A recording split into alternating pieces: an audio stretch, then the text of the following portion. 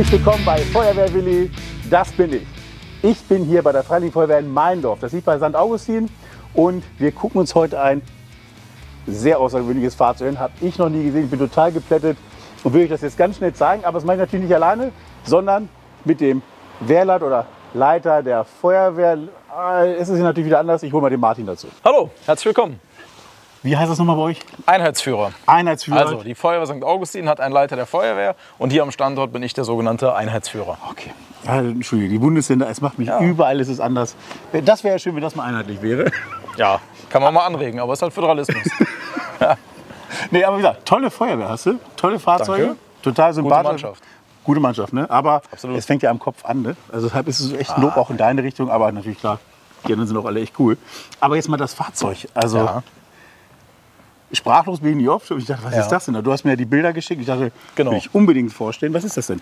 Also, ähm, ja, fachlich heißt er Gerätewagen Gefahrgut, ist also ein Gerätewagen, der, wie der Name schon sagt, äh, Gerät transportiert, aber eben ein äh, ziemlich spezieller Aufbau. Ne? Es ist mit, diesem, mit dieser Triebkopf-Variante gelöst, die Container transportiert. Sprich, man könnte theoretisch auch andere Container nutzen. Wir haben jetzt nur diesen einen.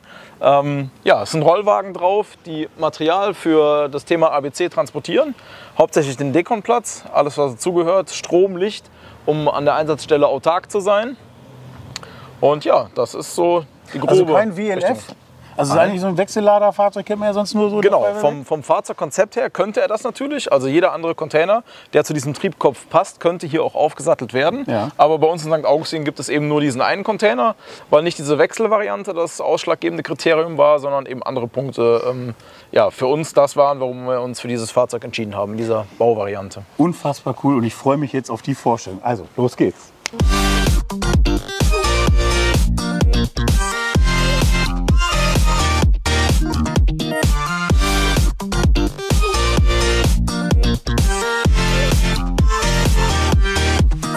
Ja, liebe Zuschauer und Feuerwehrinteressierte, nachdem äh, der Willi und ich uns jetzt hier begrüßt haben, euch das Fahrzeug kurz vorgestellt haben, möchte ich gerne an meine super Mannschaft übergeben. Wir haben zwei Kameraden, die sich mit diesem Fahrzeug, seitdem es bei unserem Standort stationiert wurde, äh, sehr viel beschäftigt haben und das Fahrzeug in- und auswendig kennen. Deswegen würde ich jetzt an den Max und den Erik übergeben, die das Ganze technisch euch ein bisschen detaillierter vorstellen.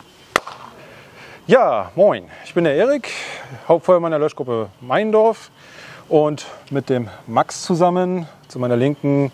Wir beide kümmern uns um den Gerätewagen Gefahrgut hier. Ja, ich bin der Max.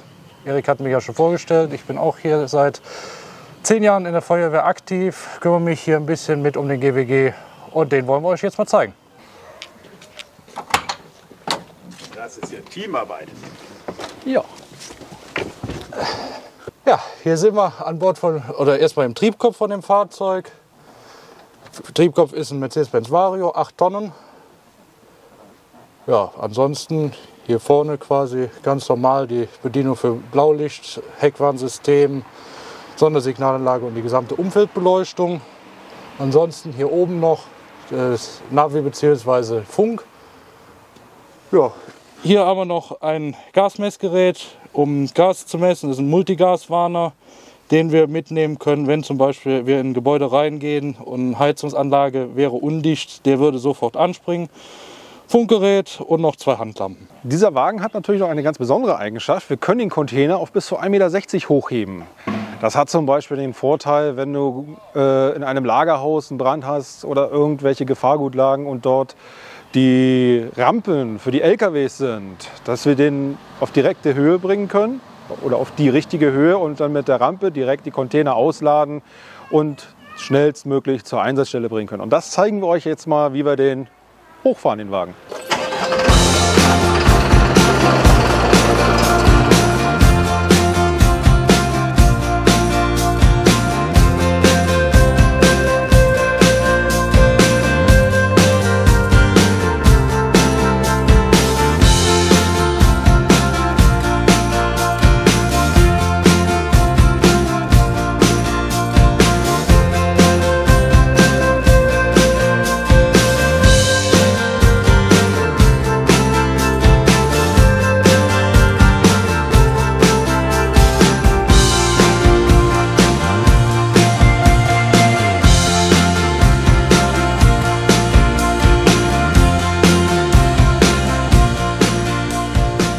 Jetzt haben wir ihn auf die Einsatzhöhe runtergebracht und so können wir jetzt natürlich unsere sämtlichen Gerätschaften und Container, die wir hinten drin haben und in den Seitenfächern entnehmen und werden euch diese jetzt mal vorführen. Wir fangen natürlich mit den Seitenfächern erstmal an.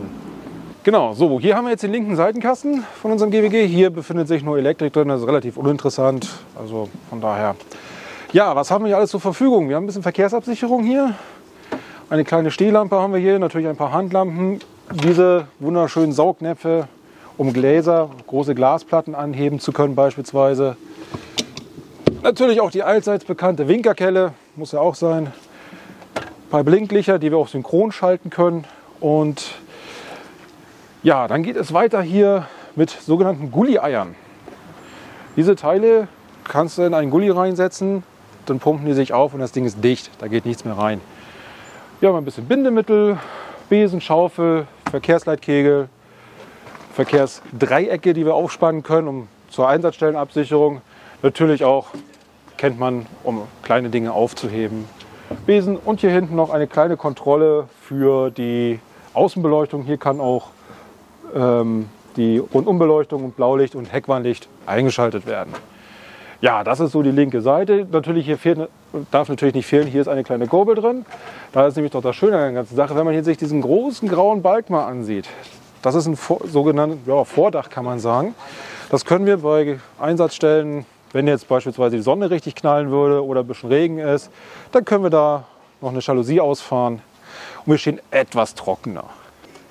Ja, hier auf der rechten Seite haben wir einmal ein Hygieneboard mit entsprechend Druckluft. Dann hier einmal ein Drucksprühgerät für Ölbindemittel in flüssig auszubringen. Ganz normale 6 Kilo Feuerlöscher. Noch äh, Faltkegel nochmal zur Absicherung. Ein Stromerzeuger, da das Fahrzeug an der Einsatzstelle grundsätzlich immer Strom haben muss und der Fahrzeugmotor nicht immer mitlaufen muss. Dafür hier nochmal ein zusätzliches Aggregat. Dann einmal hier für die Dekondusche eine Notfallkofferpumpe als Ersatz. In den zwei Kisten sind Wechselklamotten für die CSA-Träger, nachdem die durch die Dekondusche durch sind. Getränke für die Atemschutzgeräteträger, Atemschutzmasken. Hier sind noch Zubehör drin für Probeentnahmen an der Einsatzstelle, wenn wir äh, gefährliche Stoffe haben und die, noch nicht, die, äh, nicht wissen, welcher Stoff das ist. Zubehör für Abdichten bzw. auch äh, Leckstopp, Schutzbrillen und Gehörstöpsel und noch Handschuhe bzw. Einweganzüge.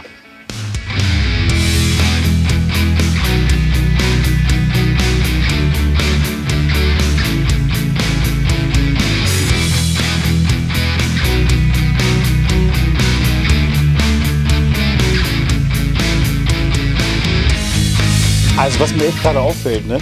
Also ich glaube flacher und einfacher kenne ich es nirgends. Absolut genial. Also diese, diese, wie flach man hier wirklich beim Boden ist und wie jetzt die Beladung kann sich glaube ich jeder vorstellen. Ne, mit Ladebordwand jetzt im Vergleich würde ich jetzt mal sagen, da fährst du raus, fährst runter, kannst runterfallen, ja. saugefährlich auch, da, dass da noch nichts passiert ist. Äh, allein schon diese Zeiten, wie du da so B- oder entlädst, das ist ja, ja, jetzt darf ich sagen, wirklich geil. Das ist ein Hammer. Äh, cool, echt.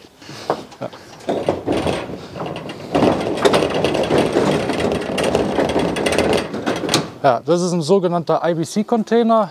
Den nutzen wir für unsere Dekondusche zum Auffangen von Schmutzwasser, beziehungsweise wenn wir an der Einsatzstelle einen äh, leckenden Tank haben, können wir damit das, äh, die gefährlichen Stoffe auffangen. So, weiter geht es mit unserem Wagen für Strom. Wir können uns natürlich selber auch noch ein bisschen mehr Strom machen, als mit dem kleinen Aggregat, was ihr gerade im Seitenkasten gesehen habt. Wir haben natürlich auch ein paar Flutlichtstrahler drauf, um Einsatzstelle auszuleuchten. Und auf der anderen Seite findet sich ein Aggregat und jede Menge Kabeltrommeln und natürlich auch ex-geschützte Kabellichter und Stecker. Stative finden sich da. Und der, den Lichtmast kann man natürlich auch noch ein paar Meter hochpumpen. Ja, das ist einmal der Container ZBV, also zur besonderen Verfügung. Da haben wir hier zum einen nochmal Material, Spesen, Schaufeln, ein paar äh, Stecheisen für die Erde zum Absperren. Dann haben wir hier noch einmal Bindemittel in den verschiedensten Größen, auch noch mal einen Sack Ölbindemittel und ansonsten noch mal Einwegschutzanzüge, Müllsäcke noch mal zusätzlich. Dann haben wir einmal hier vorne noch mal, äh, auch nochmal Einweganzüge und ein, eine Ablageplane für den Gefahrenbereich, dass man das noch mal gesondert kennzeichnet. Und ansonsten hier noch Stative für das, für das Auffangbecken bzw. hier für diese Warteschilder. So, weiter geht's mit unserem Wagen für Auffangen. Da natürlich viele Gefahrenstoffe auch in flüssiger Form vorkommen, können wir beispielsweise dort Kraftstoff aufnehmen in diesen Kraftstoffkanistern. Die sind natürlich leer, ist klar, kann man sich leider nicht was abnehmen. Und natürlich auch große Auffangmannen, Schöpfeimer, Edelstahltrichter, auch kleine oder ein Liter Messbecher zur Probenentnahme, wenn das zum Beispiel an dem Gully ist und ein bisschen tiefer, damit man sich nicht reinbücken muss. Und natürlich Müllsäcke und große Plane. Und ganz oben drauf haben wir noch eine Sackkarre liegen. Wenn wir damit zum Beispiel dann diesen blauen gefüllten transportieren müssen, wenn der voll ist, dann sind das mal locker 30, 40, 50 Kilo, je nachdem, was es für ein Stoff ist, wie viel da drin ist. Und das möchte man ja ungern tragen. So viele Rollcontainer schon raus und da immer noch voll. Wahnsinn, was das für ein Platz ist. Das ist der Rollcontainer abdichten. Hier ist im Prinzip alles drauf, um Tanks abzudichten. Wir haben hier einmal Leckdichtkissen, das komplette Zubehör dazu, Rohrdichtkissen, die Luftflaschen, um die äh, Dichtkissen aufzupumpen. So. Ja, wie ihr seht, ist es schon einiges an Platz hier jetzt vorhanden. Und diese zwei Container sind natürlich so ein bisschen das Herzstück der ganzen Geschichte. Das ist nämlich unsere Dekon-Dusche, Dekon-Strecke. Ähm, Warum das so komisch gepackt ist, hat vielleicht auch einen guten Grund. Wie ihr eben gesehen habt, das Fahrzeug können wir ja schön hochfahren. Und wer genau hingeschaut hat, hinten gibt es keine Querachse. Das bedeutet, er hat natürlich ein sehr nettes Fahrverhalten. Und der Max und ich, wir haben uns viele, viele Stunden und einige Fahrten zur Waage natürlich genommen, um dann diesen Wagen genau so zu packen, dass er vernünftig fahr zu fahren ist. Im Einsatzfalle muss man natürlich vernünftig fahren können. Da kann ich nicht mit 30 lang schleichen, weil er anfängt sonst auszubrechen. Und haben uns da viele, viele Stunden Zeit für genommen und diesen Wagen so gepackt, wie er jetzt ist. Und deswegen ähm, haben wir jetzt die zwei auf der rechten Seite. Vorher war es ein bisschen anders gepackt. Und jetzt stellen wir euch die Dekon-Container vor, die dann eigentlich das Herzstück dieses Fahrzeugs bilden. Ja, das sind die beiden Rollencontainer, wo die komplette Dekon-Strecke mit drauf ist. Angefangen das Herzstück der Dekonstrecke die Dekontaminationsdusche. Diese ist komplett aufblasbar mit den Luftflaschen, die auch hier oben bei sind. Hier oben ist die Plane, die quasi die Grundlage bildet. Das ist wie die Ampelfarben Rot, Gelb, Grün. Rot zum Gefahrenbereich hin, also da kommen die CSA-Träger gerade aus der Einsatzstelle heraus. Gelb, da steht die Dusche drauf, da wird dekontaminiert und dann gehen sie in den grünen Bereich, wo sie dekontaminiert sind und dann die Einsatzstelle so verlassen können. Zudem haben wir hier das gesamte Zubehör quasi, also die ganzen Schläuche, das Absperrmaterial, was zur Dusche gehört, die Reinigungsbesen, Absperrketten. Hier unten für das Personal, was an der Dekonstrecke arbeitet, Gummistiefel, die Einweganzüge, das gesamte Zubehör unten auch noch, was zur Dusche gehört. Dann haben wir einmal hier drin die schon am Anfang angesprochene Kofferpumpe zur Dekondusche, damit wir das Wasser, was in der Dekondusche benutzt wird, aus der Dusche heraus abpumpen können und in den IBC-Container pumpen können. Und hier ist noch ein Auffang äh, oder ein aufblasbares Becken drin für die Grundreinigung oder für die Vorreinigung. Das heißt, hier drin werden die äh, CSA-Träger erstmals dekontaminiert, also die äh, Schuhe sauber gemacht, bevor sie dann wirklich in die Dekondusche hineingehen. Dass man sich das auch ein bisschen bildlich vorstellen kann, was der Max euch gerade erzählt hat, haben wir das natürlich hier einfach mal aufgemalt. Ne, hier könnt ihr noch genau sehen, mit dem roten Bereich, dem gelben Bereich, dem grünen Bereich. Hier gehen die äh, Kameraden unter CSA erstmal in die Vorwäsche, in, diesen, in den Kanister, dann in die Dusche rein, werden dekontaminiert. Und auf diesem Feld, das ist ein großer Sack, dann äh, entkleidet von den anderen Kameraden, die diese Einweganzüge tragen. Und äh, ja, dann sind sie, wenn sie im Grün sind, aus der Einsatzstelle raus und im Weißbereich sozusagen. Also erstmal das mit dieser Rot-Gelb-Grün ist ja Standard, aber es ist eigentlich wie so eine Ampel, ne? Rot halt, geht gar nicht. Also so darfst du hier nicht raus. Gelb, wir kommen der Sache schon näher, ne? es geht gleich los. Und Grün, du bist jetzt gereinigt und kannst natürlich jetzt wieder zu deinen Kameraden hingehen und erzählen, was du gerade im Einsatz erlebt hast. Ähm, was ich toll finde, diese Rollcontainer-Konzept, also ich bin mega begeistert, auch gerade für einen ABC-Einsatz, dass du damit hinfährst zur Einsatzstelle. Du musst nicht mit dem Einsatzfahrzeug direkt dabei stehen, sondern kannst das direkt hinfahren, rausziehen, aufpusten, Dusche raus. Dann stehst du mal nicht so im Weg und dann die 10 Meter, 15 Meter kannst du mit dem Container fahren. So ein geiles Konzept. Ja, äh, eine Kleinigkeit will ich noch da hinzufügen. Der Max und ich, wir stehen ja jetzt natürlich jetzt in einem Riesenraum hier. Das hat beim Winter auch noch einen großen Vorteil. Wenn die CSA-Leute, wenn die nämlich im Einsatz waren, verschwitzt sind, dann können die sich hier drinnen, wenn wir natürlich alles rausgefahren haben, in Ruhe umziehen, auch geschützt und sowas alles. Machen wir die Türen zu und es wird nicht kalt und ja, dann haben die noch eine perfekte Möglichkeit, sich äh, ihrer Kleidung zu entledigen und sich frische, gereinigte Sachen anzuziehen und dann äh, den Einsatz zu verlassen. Während die anderen einräumen, also Martin, was sich jetzt gerade die Zuschauerinnen fragen, wann kann man denn jetzt zum Dienst kommen? Äh, wir haben Übungsdienst ungefähr zweimal im Monat, mittwochs oder freitags. Das variiert so ein bisschen. Dienstplan für Interessierte gibt es auf unserer Homepage feuerwehr-meindorf.de und natürlich auch unsere Facebook-Seite Feuerwehr Meindorf. Da findet ihr Ansprechpartner, Informationen rund um uns, was wir so machen, was wir treiben, wie oft wir üben. Wir sind immer offen für neue Gesichter. Kommt einfach vorbei, schaut euch das Ganze an. Und es macht definitiv Spaß. Das hört sich jetzt ein bisschen so an, ja, so ein typischer Satz. Ja, Hört ist sich aber wirklich so. an, aber das ist wirklich so. Ich möchte mal ganz kurz sagen, die Leute, die aus Meindorf kommen, ihr habt so eine geile Feuerwehr im Ort und ich komme viel rum. Kommt mal hier bitte hierher, guckt euch das mal auch die Leute. Ihr werdet sehen, was ich nämlich meine. Ihr könnt euch hinterher bei mir noch mal melden und bedanken, weil ich glaube, das ist wirklich, es muss ja auch Spaß machen mit Feuerwehr. Das ist Freizeit. wichtig, genau. Es ist eine freiwillige Und Feuerwehr. alle so cool, auch hier André, wenn ich ihn gerade sehe, da kann man so ein geiles Stück DNA. Bist du verrückt. Du. Nein, aber ihr seid so tolle Leute, ich kann das echt nur loben und das muss ich das jetzt stellvertretend an dich weitergeben. Ja. Richtig coole Kameradschaft. Stellvertretend gerne entgegen. Dankeschön. Super geil, also kommt hierher, glaubt glaub mir, was ich sage. Und Jugendfeuerwehr habt ihr auch? Natürlich. Eine super Jugendabteilung. Ich äh, brauche nur treffen klatschen. Ich brauche nur klatschen, da kommen die Jugendlichen ins Bild. Achtung. Aber ihr seht, ne, die Jugendlichen gibt es hier gibt's noch viel mehr. Ich Ja. weiß gerade, die jetzt neben mir standen. Also auch für die Jugendlichen ganz cool. Nur eine Warnung für die Jugendfeuerwehr. Ich sage es immer wieder. Vorher, wenn man nicht in der Feuerwehr ist, ist man am Geburtstag eher so unter sich. Wenn man natürlich in der Jugendfeuerwehr ist, heißt das, die Bude ist immer voll. Da muss man sich gut überlegen, ob man so viele Freunde haben will oder nicht. Das gibt es bei der Jugendfeuerwehr. Also und wann machen die mal Dienst? Immer freitags nachmittags. Jeden Freitag. Jeden das Freitag. kann ich mir sogar merken. Außer in? Schul Nee. Außer in Schulferien. freitags. Freitags. Freitags. Also freitags wenn ihr zur Feuerwehr kommen, nachmittags, welche Uhrzeit? Äh, 17 Uhr. 17 Uhr. 17 Uhr ist Jugendfeuerwehrdienst. Also, dann einmal zur Feuerwehr. Richtig cool. Nicht nur die Feuerwehr, nicht nur die Fahrzeuge, auch die Leute. Also, wir sehen uns hier in Meindorf.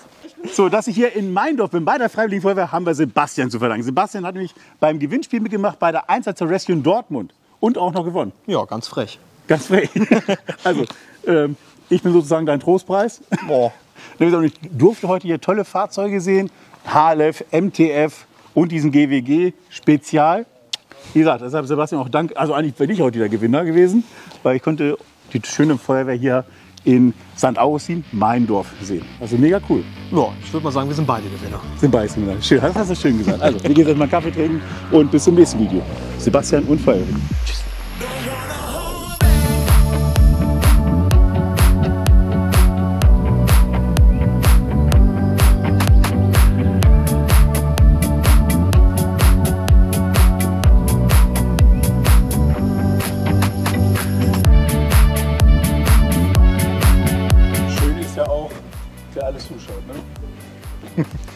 Die Jugend will es ja mal lernen. Ne?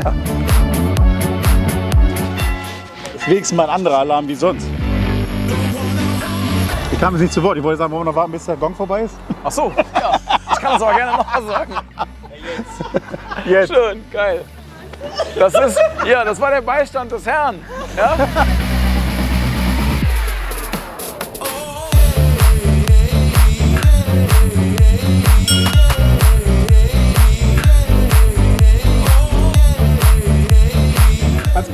Gemacht? Ja, war cool. Schön, dass du da warst. Sebastian, was sagst du? Auf jeden Fall ein Besuch wert von dir.